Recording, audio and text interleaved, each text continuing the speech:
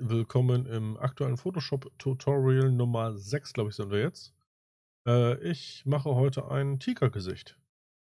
Klingt komisch, ist aber so. Nein, ich möchte ein Porträtfoto umwandeln, dass es so wirkt, als ob es ein Fury wäre. Oder ein Fu Fu Fury.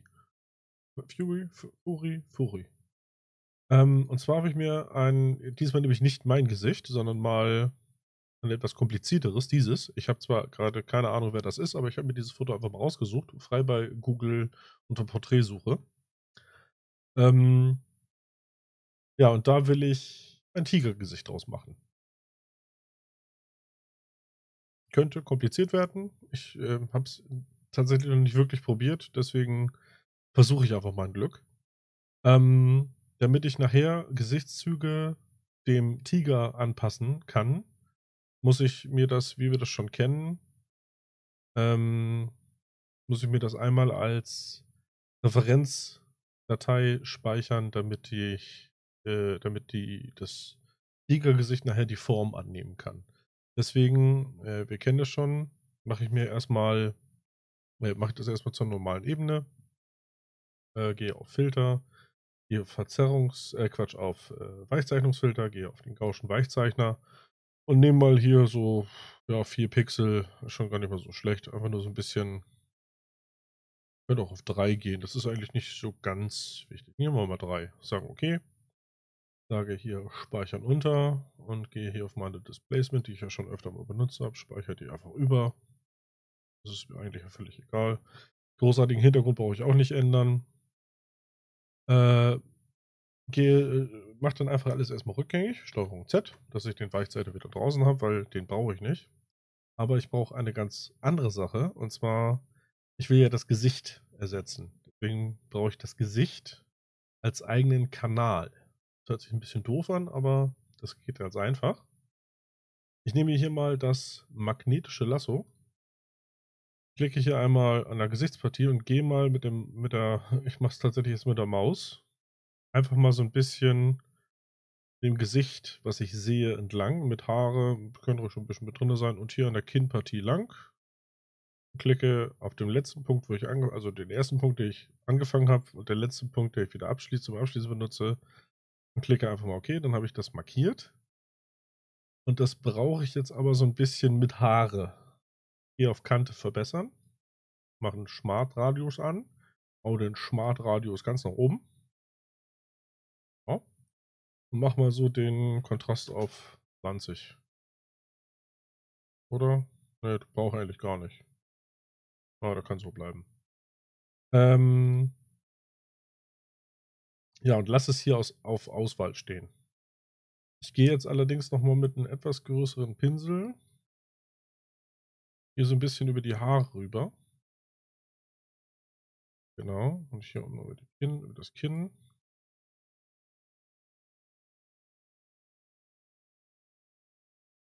Ich mache das nochmal mit dem Negativ, drücke dazu die Alt-Taste, weil ich will das Gesicht wirklich vollständig mit drin haben. Und nimm mal hier wieder mit. So. Ich möchte also nur das Gesicht und die Haare haben. Habe jetzt mit Alt äh, gedrückt, Alt-Taste, äh, habe ich jetzt Gesichtspartie und so weiter mal drinne gelassen. Sodass das Gesicht nicht irgendwie graue Punkte drin hat. Das ist, glaube ich, schon ganz okay. Das kann man so nehmen. Ich drücke OK. Dann markiert er mir das so ein bisschen gezickelt und gezackelt. Das ist auch völlig egal. Und gehe jetzt hier auf Auswahl und Auswahl speichern. Und sage jetzt hier einfach mal Gesicht. Also einen neuen Kanal soll er erstellen. Datei Displacement, das ist eigentlich, ähm, ne, wir nennen die nicht Displacement, sondern in der neuen Datei Name Gesicht. So, neuer Kanal. Wupp. Jetzt hat er mir ein komplett neues, eine komplett neue Datei erstellt. Das wollte ich aber eigentlich gerade gar nicht. Nee, okay. Müssen wir tatsächlich noch einmal anders machen. Wir müssen uns das Original einmal abspeichern, neu abspeichern, damit das nicht ins Displacement speichert. Äh, machen wir mal Tiger Woman. Jawohl. Jawohl. Die Markierung ist noch da. Ich gehe auf Auswahl, gehe Auswahl speichern und Datei, wo soll speichern. Name, die Sicht. Sag OK. Jetzt hat er mir hier unter Kanäle, ich weiß nicht, ob man das gut im Video nachher erkennen kann, weil ich äh, auf äh, in ähm, 1900 aufnehme, also 1080p aufnehme und da ist Photoshop sehr, sehr klein. Mir reicht es aber. Er hat hier unter Kanäle jetzt ein neues Gesicht hinzugefügt. Ich kann das hier auch nochmal groß zeigen. Äh, was ich mir später nur als Referenz wieder rausnehme. Das ist also nicht ganz wichtig für Farben oder so, sondern einfach nur, dass ich die Auswahl nochmal habe. Gehe hier zurück äh, auf, mein, meine normale Ebene 0, mache die Auswahl weg und äh, jetzt brauche ich den Tiger. Den Tiger habe ich mir einfach eine Frontaufnahme eines Tigers genommen. Diese hier. Die ich jetzt auf das andere Gesicht drauf haben will. Jetzt nehme ich mir mal nicht das magnetische Lasso, sondern das normale Lasso und fahre mal hier über die Haare. Quasi nur die Gesichtspartie. Mit Kopfform, Ohren brauche ich nicht. Das ist selten, dass ein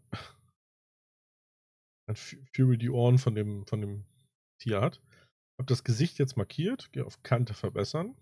In dem Fall brauche ich allerdings auch den Smart Radius, brauche ich den kompletten Radius. Und hier stelle ich tatsächlich mal 20% ein. Ja, das ist ein bisschen besser. Dann ist das hier an den Kanten nicht so, so krackelig. Ja. Das kann alles so bleiben, das ist in Ordnung. Und hier sage ich einfach mal neue Ebene. Nicht Auswahl, sondern neue Ebene.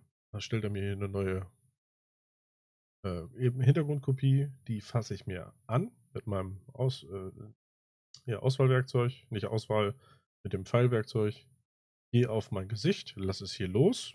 Ist ein bisschen groß. Ich drücke Steuerung T und ziehe mir das erstmal so ein bisschen kleiner, so halb in, erstmal ganz grob in, in Gesichtsgröße. So. Sieht natürlich noch nicht wirklich sehr interessant aus. Drück erstmal okay. Jetzt stelle ich mir mal eben die Sichtbarkeit so auf, auf 40, 50 Prozent, dass ich das Hintergrundgesicht noch sehe. Und kann mir jetzt natürlich noch ein bisschen genauer hinschieben, so dass Nase, Augen und Mund so ungefähr eine Linie bilden, so wie es auch auf dem Foto ist. Ich nehme jetzt mal die Augen als Referenz, genau. Drücke nochmal Steuerung T. Ziehe mir das Fenster so ein klein bisschen nach oben. Nase und Mund stimmen schon ganz gut. Wird noch ein klein bisschen weniger sein. Achte jetzt aber auch schon gleich so ein bisschen darauf, dass die dass es, dass es die untere Partie im Gesicht auch passt. Also dass der Mund auf den Mund passt, dass die Nase auf die Nase passt. Die Frau hat jetzt tatsächlich ein sehr tiefes Kinn, deswegen muss ich gleich gleich ein bisschen mehr verformen. Wir machen das jetzt aber mal so, dass hier oben das verformen wir uns gleich noch ein bisschen anders. Da gibt es auch ein schönes Werkzeug von Photoshop. Ja, wir machen das jetzt mal auch ein bisschen mehr an Fülle. Deswegen hm, ich teste jetzt einfach noch mal so ein bisschen, wie es am besten wirkt, weil der Mund ist eigentlich hier, die Nase sind viel weiter unten. Wir machen das jetzt mal erst grob mit den Augen. Wir nehmen die Augen als Referenz. So. Und zwar gehe ich jetzt mal erstmal bestätigen, dass es so bleibt. Jetzt gehe ich mal auf Bearbeiten, äh, Transformieren, Performen. Dann bildet sich so ein wunderschönes Raster. Und dieses Raster kann ich anfassen und bestimmte Teile mitnehmen. Und passe jetzt mal die, Pupillen über die Pupille. Die Nase über die Nase. Dann wandern die Pupillen natürlich wieder ein bisschen weiter weg, weil er das Ganze natürlich mitnimmt. Wir immer wieder so ein klein bisschen anfassen. Hier oben die Gesichtspartie, muss auch mit. Der Mund mit der Nase muss hier hin. Schön ist, ich kann jetzt auch hier die Ecken anfassen und einfach die Ecken so ein bisschen auseinanderziehen gar nicht mal so schlecht ist. Kann es quasi ein bisschen breiter machen. Das ist vielleicht noch zu breit. Ein bisschen doof ist, die Frau hat echt ein tiefes Kinn. Also fotoperspektivisch jetzt. Wie gesagt, ihr kennt die Frau nicht, aber vielleicht hat sie ja tatsächlich so ein tiefes Kinn. Guckt immer so ein bisschen komisch. Egal. Ich passe mal diese Ecken von dem von dem Maul passe ich mal mit den Ecken von ihr an. Das glaube ich wirkt ganz gut nachher. Obwohl hier noch ein bisschen durchschimmert von dem, von dem Gesicht, das ist aber nicht ganz so schlimm. Ja, das ist schon, ich glaube, das ist so ganz in Ordnung. Drücken mal okay. Jetzt haben wir schon mal perspektivisch ganz gut angepasst. Hau hier wieder meine Stärke rein, also meine äh, Deckkraft. Und gehe, ähm, wie mache ich es jetzt am besten? Ne, die Deckkraft lasse ich noch, erst, noch ein klein bisschen raus. Aber die kommt gleich wieder. Und zwar machen wir jetzt erstmal äh, habe ich jetzt dieser Ebene den Verzerrungsfilter rein. Und zwar den versetzten Verzerrungsfilter. Setze hier den mal auf 5 und 5. Auf äh, Auswahl skalieren und auf Kantenpixel wiederholen. Auf OK. Jetzt fragt er nach der Displacement-Datei, also die, die ich schon öfter mal benutzt habe. Will anpassen. Jetzt haben wir gesehen, er hat es versucht, dem Gesicht so anzupassen. Hier sieht man es am, am schönsten, sag ich mal, an dieser Kante. An den Haaren, ja, die sind jetzt ein bisschen zottelig geworden, ist aber nicht ganz so wild. Und ich glaube, mein Handy, äh, egal, mein Handy ignoriere ich. Jetzt erstellen wir uns noch eine geile Maske dazu. Dazu gehe ich jetzt mal auf die Kanäle, drücke Steuerung, drücke auf das Gesicht. Jetzt sieht man schon, dass er das hier wieder rausholt, das Gesicht. Gehe auf die Ebene zurück und erstelle mir mit dem Klick hier unten auf, äh, auf Ebenenmaske eine Ebenenmaske. Und jetzt siehe da, haut es schon richtig schön in das Gesicht rein. Das gefällt mir so schon ganz gut. So, jetzt nehmen wir uns einen Pinsel mit schwarzer Farbe. Nicht zu groß. Nehmen wir mal hier auf, bei dem Bild äh, 26, 16, 16, machen wir mal 16. Zoome mir mich an die Augen ran. Pinsel nochmal. Deckkraft des Pinsels auf 100. Härte auf 0, Größe okay. Und male jetzt mir die Augen der Frau zurück ins Bild.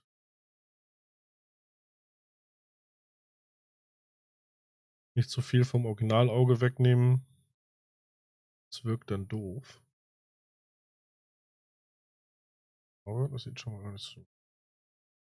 Die Augenbrauen, man sieht, sie schimmern hier noch durch. Das ist aber, finde ich, nicht ganz so wild. Das sieht man im großen Bild nachher nicht. Die Nase relativ auch gut. Der Mund ist natürlich noch extrem wichtig. Den sollten wir rausarbeiten. So, ich folge natürlich jetzt einfach nur den Linien von den Lippen im Hintergrund.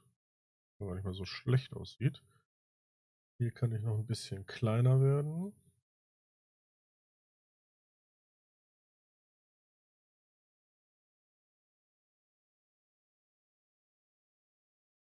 Ja, schon vielleicht ein bisschen zu viel mal einen größeren Pinsel und gehe nochmal so ein bisschen an den Kanten lang.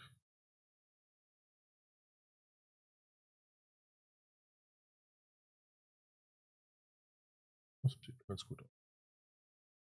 So, gehen wir ganz zurück. Was hier dann an der Ecke passiert. Achso, das sind die Haare. ich dachte gerade schon. So, das sieht schon gar nicht mal so schlecht aus.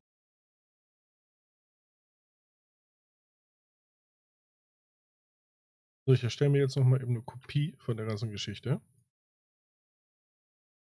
Setze mir diese Ebene auf Multiplizieren. Und füge dann, macht da wieder die 100% Deckkraft rein. Jetzt wirkt er schon mal ein bisschen kräftiger. Die Ebene hier oben, die benutze ich jetzt umgekehrt. Da mache ich jetzt Steuerung I, negiere das Ganze. Allerdings ähm, mache ich die Ebene Maske eben nochmal komplett weg, nur um sie zu löschen. Die kommt jetzt gleich wieder. Und zwar hier oben in die Maske alt gedrückt halten. Ja, nee. Steuerung I, brauche ich in weiß. Ja. So. Hm. Nehmen wir doch. Doch in schwarz. Nehme mir nochmal meinen Pinsel zur Hand. Mach den mal ein bisschen größer. Mach die Deckkraft mal ein bisschen weniger. Und male jetzt mit Weiß mir mal eben Haare und was mich eventuell noch so ein bisschen stört, und wieder zurück.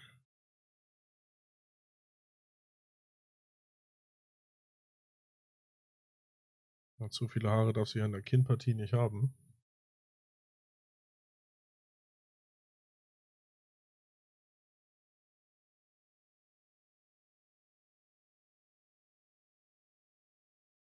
Der Bart. Der, da kann ich die Deckkraft mal hochdrehen. Nicht in schwarz, in weiß natürlich.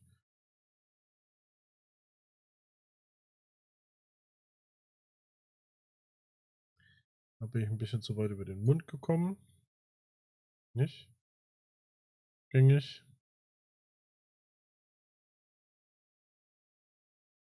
Ein Haaransatz darf natürlich auch nicht bemalt werden. Das muss ja schön ineinander übergehen, sag ich mal. Halbwegs gut ineinander übergehen. Äh, hier am Kinn gefällt mir das noch nicht so ganz. Das Problem ist, das ist jetzt das, was dem, äh, was vorher gut penibel genau drauf geachtet werden muss. Dass man da halt die Auswahl richtig macht. Das ist aber wie gesagt ja nur ein Beispielvideo. Ich finde, das ist schon ganz gar nicht mal so schlecht geworden. Ich mache mir jetzt nochmal hier auch auf Multiplizieren.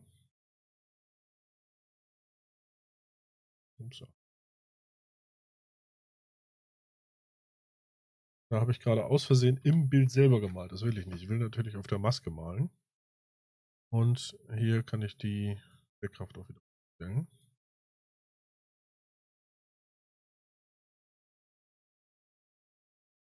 Ne, da mache ich das, das lasse ich hier auf normal, damit der Bart, der Bart da durchkommt.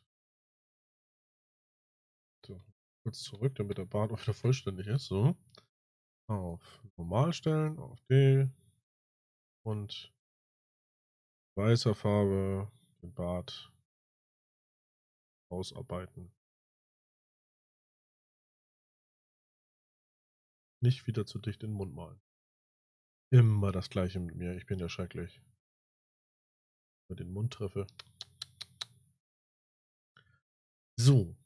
Normal, hier auf Multiplizieren. Ja, jetzt mache ich mir, damit es noch ein bisschen aus Gesicht halt noch ein bisschen mehr durchscheint, mache ich mir einfach eine Kopie von der Grundebene, ziehe mir die ganz nach oben. Nicht wundern, dass das jetzt wieder normal aussieht. Gehe jetzt hier auf der Kopie von der normalen Ebene auf weiches Licht. Ja, das sieht gar nicht mal so schlecht aus, ne?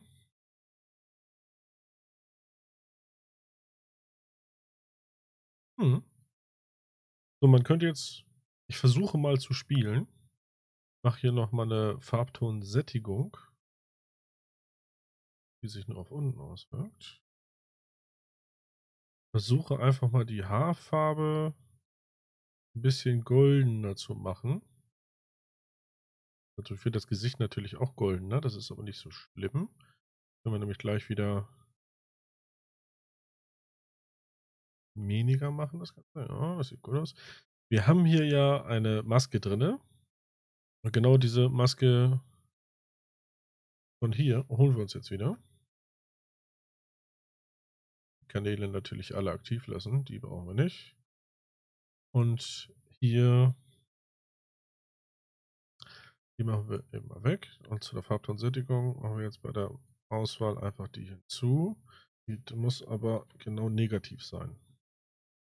Also eine negative Maske hinzu, sodass sich alles außerhalb des Gesichtes einfärbt. So.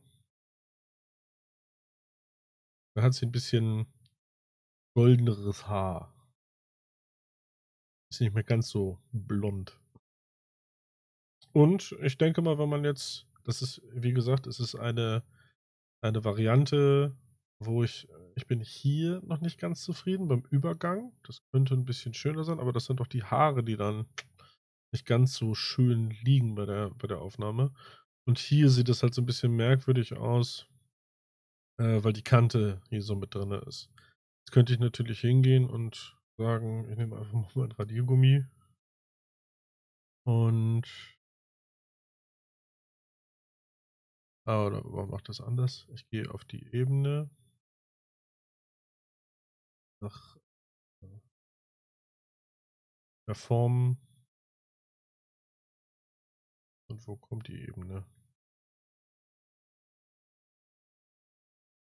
Schon in, in dieser?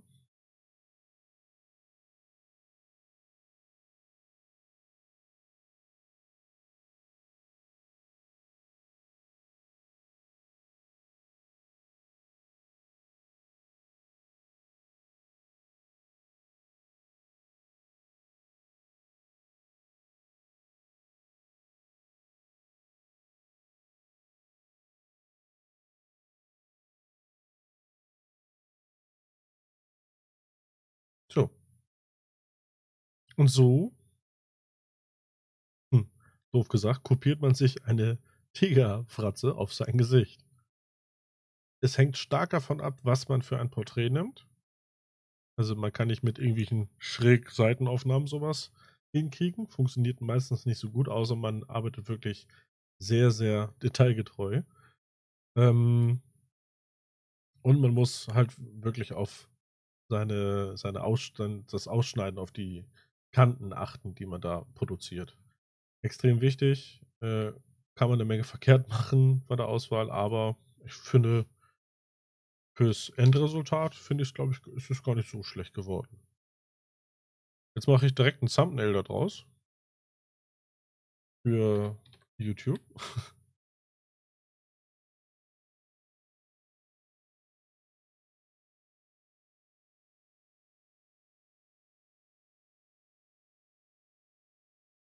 Schöne Schriftart finden hier.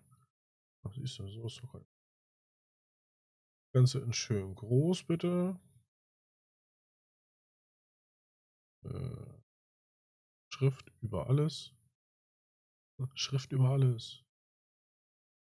Äh, äh, äh, transformieren. Sit. Sit. Warum ist das eigentlich so? Das ist doof so. So ist doof. Äh, nochmal ganz zurück. Schrift weg. Einfach nur einmal klicken. Jawohl. Steuerung T zum Skalieren.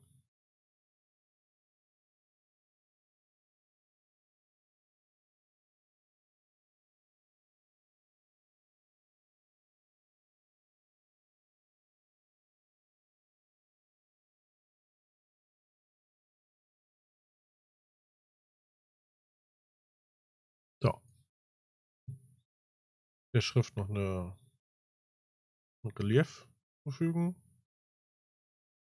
Ein leichtes.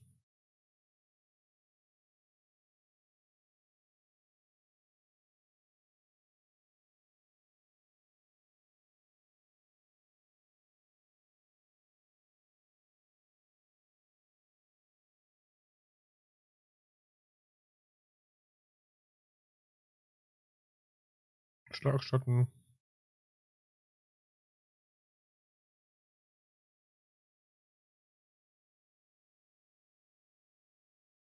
Oh.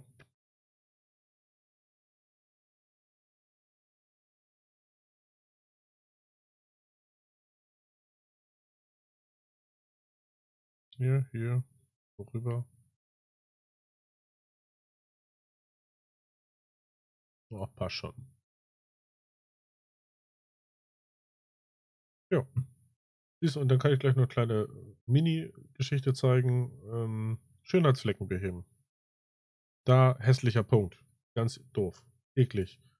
Sofort verschwinden lassen. Reparatur Bereichspinsel. Äh, oder Pflaster. Also Bereichsreparatur Pflaster. Ebene auswählen. Ein bisschen groß. Kleiner machen. Härte. Braucht nicht ganz so doll. Darüber streichen. Und dann wird es eine Narbe. okay, machen wir anders. Äh, rückgängig. Ähm, Stempel, Kopierstempel. Diesen, diesen Bereich hier kopieren, alt gedrückt halten, kopieren, hier rüber gehen und das Ding wegretuschieren. So. Der scheint von der anderen Ebene noch durch, von dieser hier. Da machen wir genau das gleiche.